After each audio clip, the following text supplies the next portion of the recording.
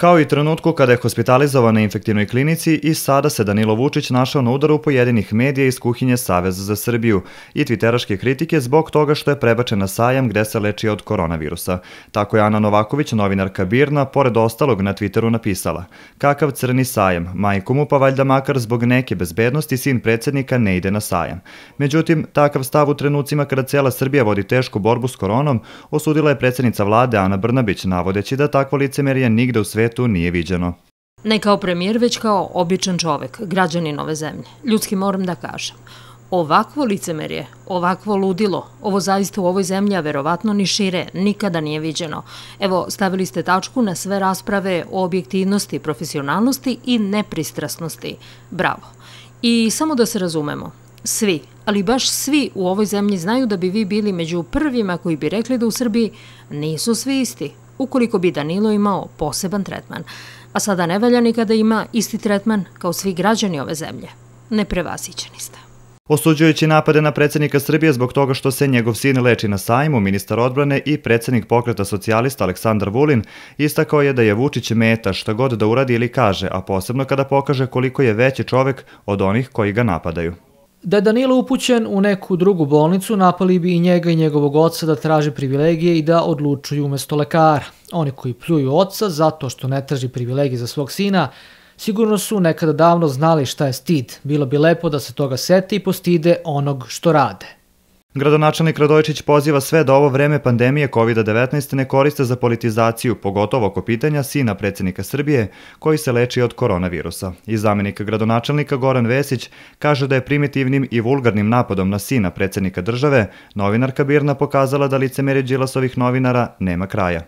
Cinično i žalosno je sprdanje ove Đilasove novinarke sa zdravstvenim stanjem sina predsednika Republike – Njihov najveći problem je što Danilo nema bilo kakvu privilegiju i što deli sudbinu svih građana Srbije. Zato i smeta što je Danilo u bolnici na sajmu, jer da slučajno nije tamo, svi Đilasovi mediji bi bili puni objava o tome kako nije u bolnici na sajmu. Žalostno je što njima nije stalo do toga kakvo je Danilovo zdravstveno stanje. Đilas bi da iskoristi i ovu situaciju za napade na Aleksandra Vučića, jer za njega je korona šansa da ruši vlast.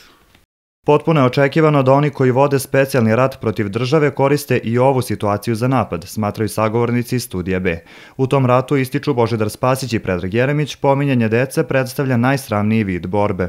Rukopis ovog tvita je veoma poznat, on potiče iz kuhinja e, onih e, opozicionih lidera koji su zapravo dali smernice u kom pravcu da se kreću, da se kreću ovi napadi na predsjednika Vučića i na sistem, tako da iza toga svega sigurno stoje određene snage oko Đilasa, Jeremića, oko Boška Naruča Obradovića i ostalih. Đilasova mašinerija i svih tih takozvanih opozicionara danas pokušava na sve načine da iskoristi sva, svaki moment, svaki trenutak da napadne aktualni režim i aktualnu vlast. Zar i ova korona i pošast, borba protiv nevidljivog neprijatelja nije dovoljno jak argument da se zaustavi ta politička sumanuta e, trka e, po svaku cenu osvajanja vlasti. Nema zemlje u svetu u kojoj se u ovakvoj situaciji kao što je pandemija koronavirusa kada svi treba da budemo ujedinjeni dešavaju ovakve stvari, ocenjuju naši sagovornici. Šta znači takve poruke koje se danas lanciraju na društvenim mrežama? Zašto sina predsjednika države ne ostave na miru? Zašto ako ne, ne žele da se bave njegovim zdravstvenim stanjem, ako ne žele da mu požele brzo oporavak, e, zašto moraju da se bave detaljima gde se on leči, da li je prebačen na sajam, da li nije i tako dalje. Zbog čega politika mora da uđe i ovim najtežim vremenima? Ovo je zapravo situacija e, koja je e, sa aspekta izučavanja nauke, analitike neobjašnjiva.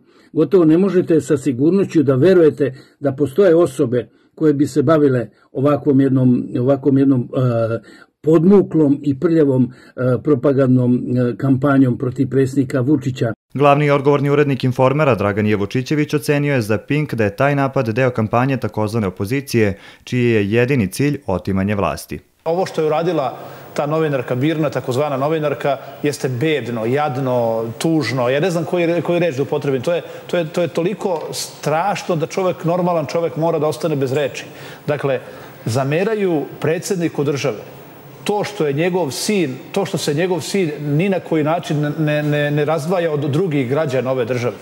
Cilj svih napada od početka krize izazvane koronavirusom do danas jeste da se lažnim vestima i napadima koji nisu utemeljeni na činjenicama izazove sumnja, histerija i haos, zaključuje Vučićević.